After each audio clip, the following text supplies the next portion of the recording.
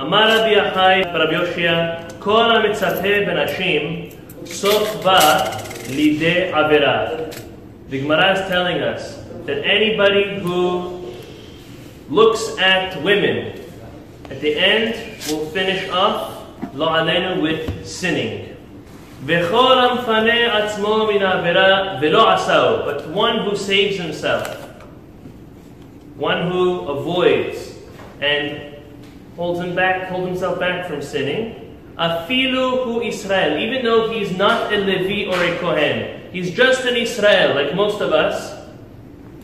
Ra'ui hu leha'alot ola Kohen gadol al gabei He now becomes at the same level of not just the Kohen, not any ordinary Kohen, the Kohen Gadol who brought a Korban to Mizbeach. Every single Yehudi when they are at that, the Gemara is telling us, when they are at that crossroad, look or don't look, by holding yourself back, you get to that level. We're soon going to mean, see what that level means. Uh, and then the Gemara continues, Anybody who completely saves themselves from this avira, Ba'olam hazeh velo asa, and he did not do it. If in this world a person, is, we, we learned this concept, if in this person the world saves himself from sinning with one's eyes, which will lead to improper relationships or touching, chas v'shalom, anything of the sort, then they will have the merit to see the Shekhinah in Olam Haba. So look what the Shomer Emunim, the Slonim Rebbe, he explains a beautiful concept.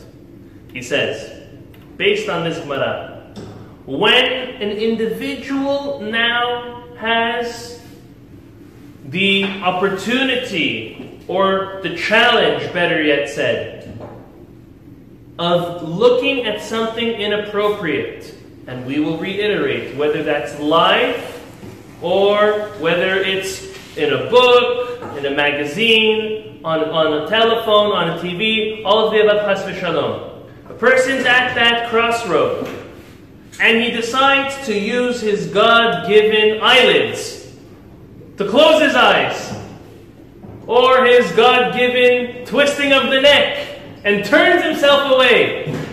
We think it's so hard. But it's just, it, it takes a blink of a second to close, to close our eyes. And he does that. He says, the Shomer Emunim says, a person has koach hatfilah, the power of prayer, just as a Kohen Gadol, bringing up a korban. And I remember as, as a bachur, I remember I was younger, this was before I even, I was like in high school, and we learned about the inyanim, the concepts of shmirat enaim. And they told us whenever you have that opportunity, close your eyes, and before opening your eyes, pray to HaKadosh Baruch Hu for something. Whatever it is, guaranteed. Rabbeinu Moshe Alshech, he also says, he takes it further. He says that we see and we know from the psukim. He brings the pasuk that says uh, that says as follows: So he says over here, and he explains that a kadosh baruch Hu has to fulfill the will of a tzaddik.